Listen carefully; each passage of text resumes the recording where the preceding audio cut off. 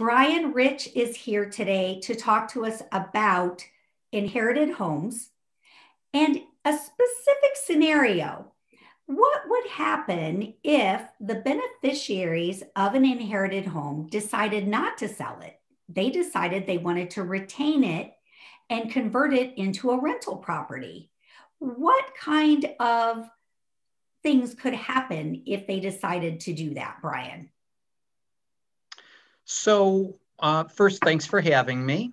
Um, one of the things, obviously, when you change from a property being used as a home into a rental property, is that you lose the principal residence exemption that is allowed in the state of Michigan.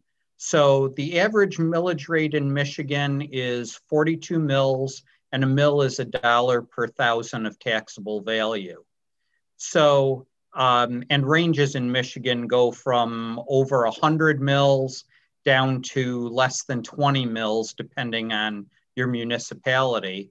Um, but so on average, the principal residence exemption might be worth 40% in savings. So there are two different sets of rules. Obviously, if the property is being used for rental, as the, the case you've described, um, none of that property will qualify for the principal residence exemption. And if you don't notify the municipality, they are allowed to go back for years and reassess the property or retax the property as non-principal residence exemption eligible and that will result in a substantial tax bill. Right, um, right. So if the homestead taxes per year would have been 5,000 and that's the rate that the beneficiaries are paying until the time that they're notified that they don't qualify. Let's say 40% of that, they're going to owe, let's say on a conservative side, $3,000 extra per year times back several years. That could be a hefty tax bill. That is absolutely the case. Um, so, that is something to keep in mind when determining if there will be conversion to uh, rental use. Um, if it will still be held for personal use, uh, it's very important to make sure that the pr- appropriate forms are filed where the new owner notifies the municipality that they are the new owner, and that's done through a property transfer affidavit and a request for the principal residence exemption.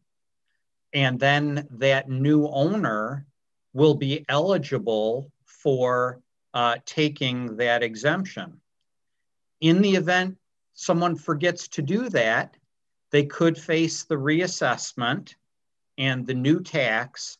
And then rather than taking the time to file two one page forms, they will have to appear in front of the Board of Review and attempt to argue that, yes, the principal residence exemption should have applied and what the procedures were. And that becomes much more complicated and potentially much more expensive.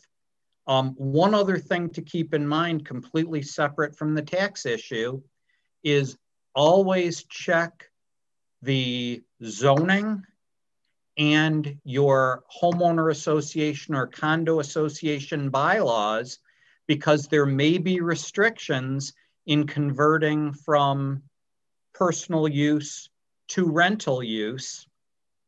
And you could spend a lot of money getting tenants in and then have them be thrown out either by the governmental entity or by your own governing association and that's a surprise that nobody wants. So, best to consult with qualified legal counsel before you make those decisions so that you make sure not to have those problems. Thank you so much for that great advice. And everyone can check out Brian's contact information below in the comments.